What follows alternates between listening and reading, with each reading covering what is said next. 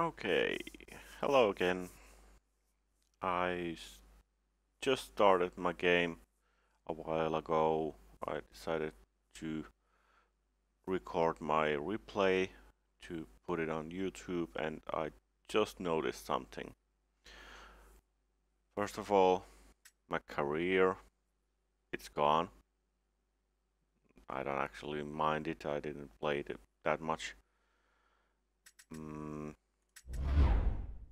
But this one annoys me. My favorite car, favorite car location, hours, hours, how many hours I have been playing, they're gone. Everything experience, focusing, affinities, races, online, everything. Succeed in your chosen. Oh, shut up. Everything just gone. Only thing that isn't gone is highlights.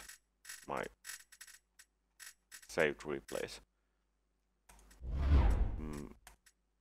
My settings are gone. This should be my wheel. It's not. Mm. I think my...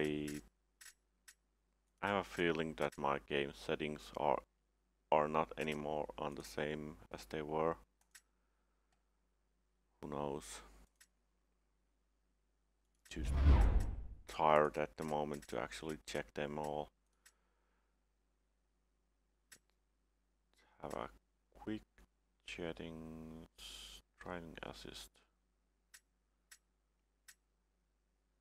Yeah, those are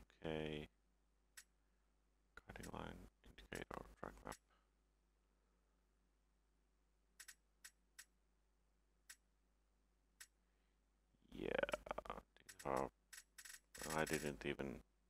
That's one I'm gonna turn off. So, every setting has been erased. Let's just check quickly on if my timings are still here. The fuel laps I've done.